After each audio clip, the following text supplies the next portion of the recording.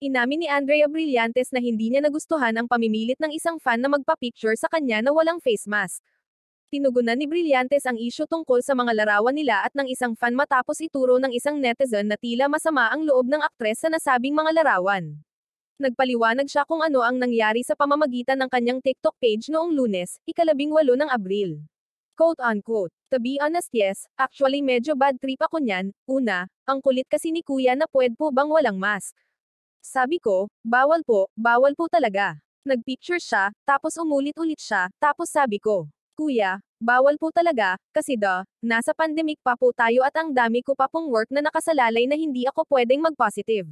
Binigyan daw ng fan ang aktres ng shirt at tinanong kung pwede niyang i-post ito sa kanyang social media accounts. Hindi pumayag si Brillantes dahil umano mayroon siyang endorsement para sa isa pang brand ng damit. Sinabi din ni Brillantes na lalo siyang naabala nang humiling ang fan na gawin ang two-joint sign sa kanya. Isang hand gesture na nauugnay sa presidential candidate na si Manila Mayor Isko Moreno Domagoso. Hindi pumayag si Brillantes at sinabi niya na gusto niyang suportahan si Vice President Leni Robredo.